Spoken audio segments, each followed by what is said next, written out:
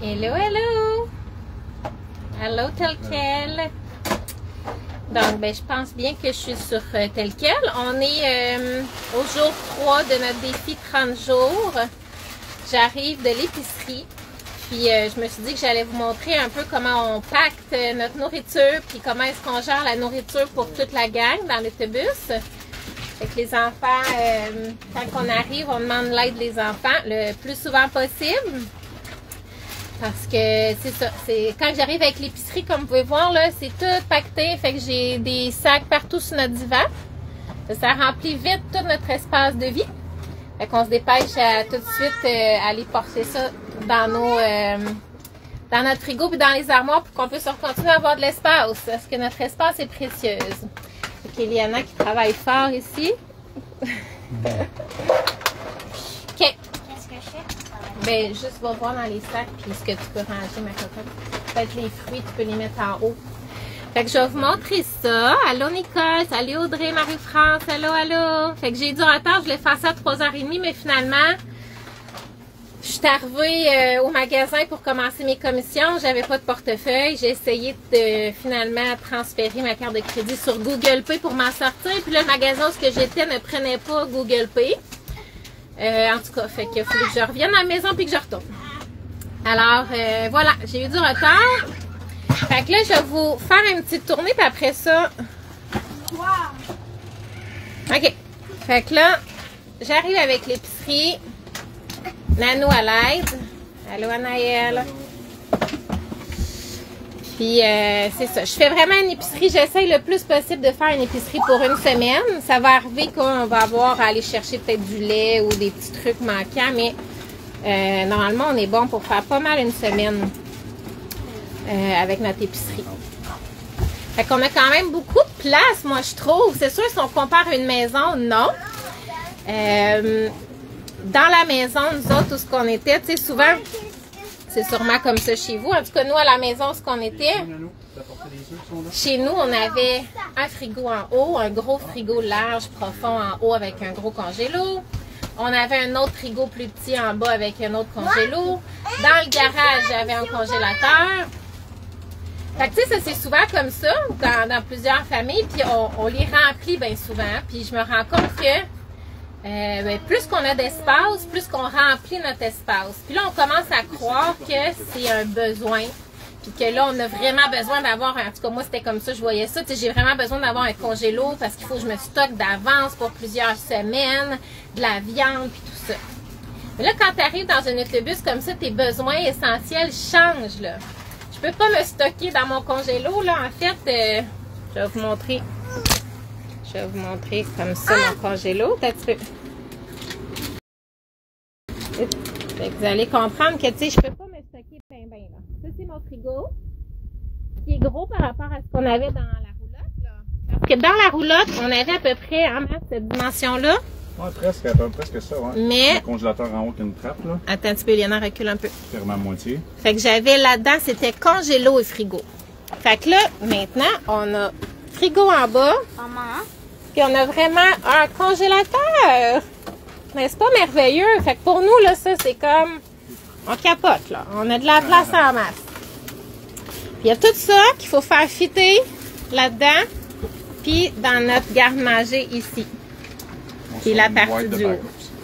On a aussi un bac en bas qu'on s'est rajouté. C'est notre garde-manger backup avec euh, des canages, euh, du surplus. On met ça dans un bac en dessous du divan. Fait que c'est toujours un peu un jeu de Tetris. Quand on arrive, attention nous. C'est toujours un jeu de Tetris. Allô, allô, salut Kate.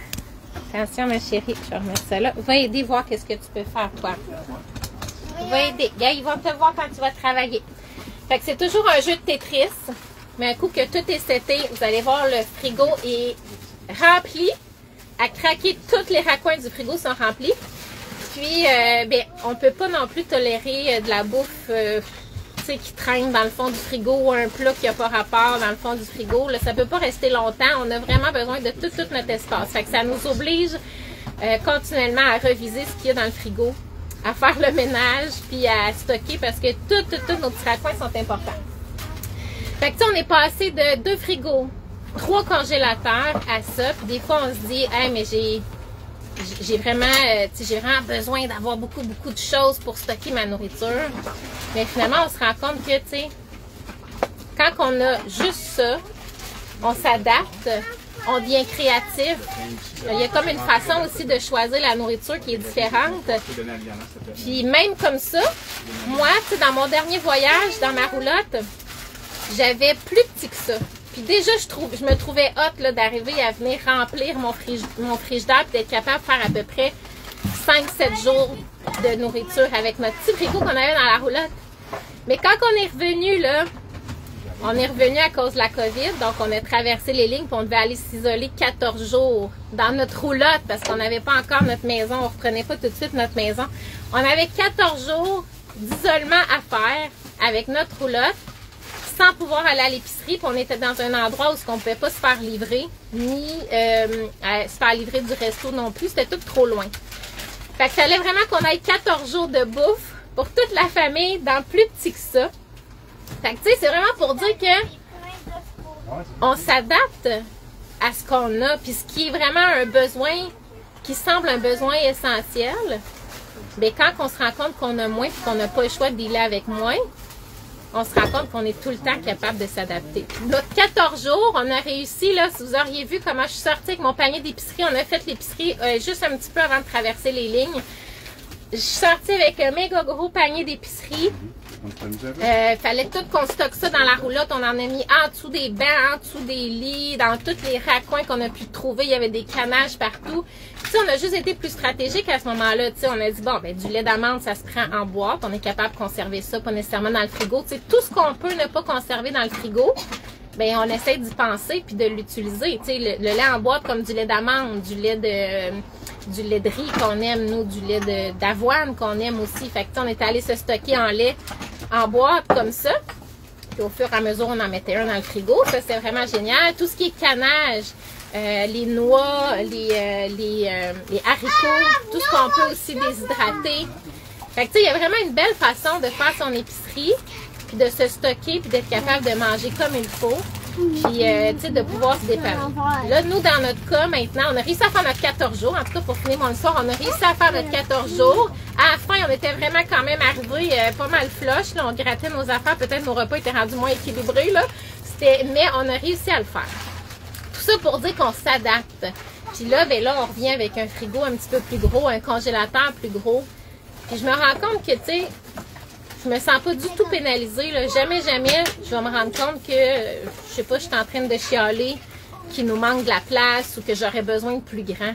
Jamais, tu sais, je, veux dire, on, sait qu'on a ça, puis on deal avec ça, puis on, se trouve des solutions.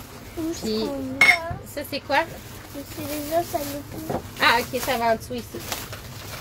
Fait qu'on se trouve des solutions, tu sais. On est capable de s'adapter avec qu'est-ce qu'on a comme espace. Puis je trouve que c'est un bel apprentissage euh, d'être satisfait de ce qu'on a.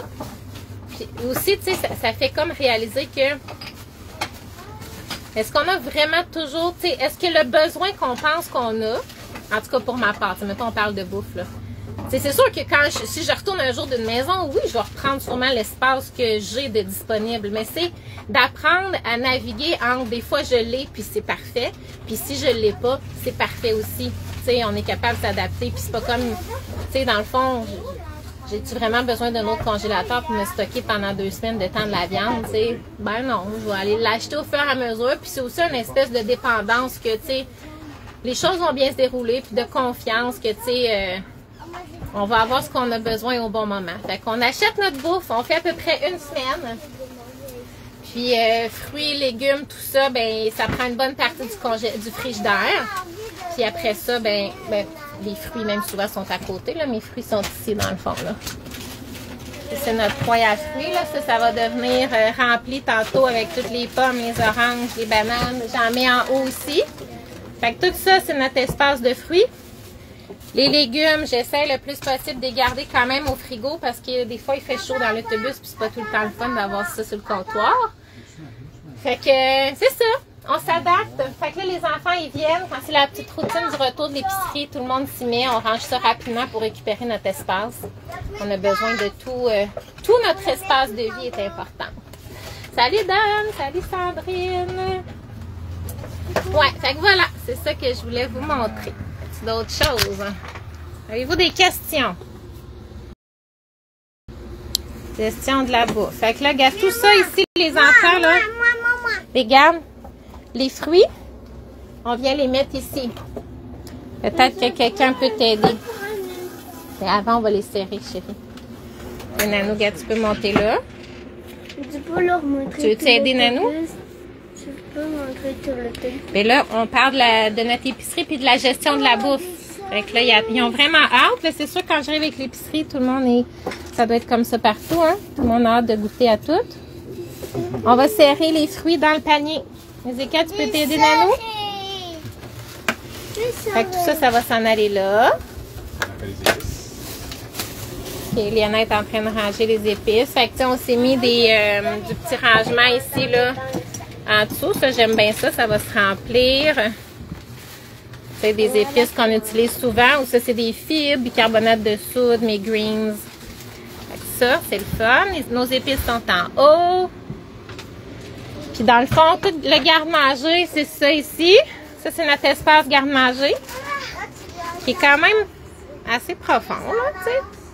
Puis en dessous, ben, c'est plus des plats, tout ça. Fait qu'on a vraiment condensé garde-manger là, mais garde, ça nous prend quand même un bac euh, supplémentaire ici. On a quand même un bac qu'on a rajouté dernièrement, puis euh, honnêtement, ça nous aide. On pitch ça là-dedans, ça nous fait un, un deuxième storage de bouffe. Puis après ça, frigo.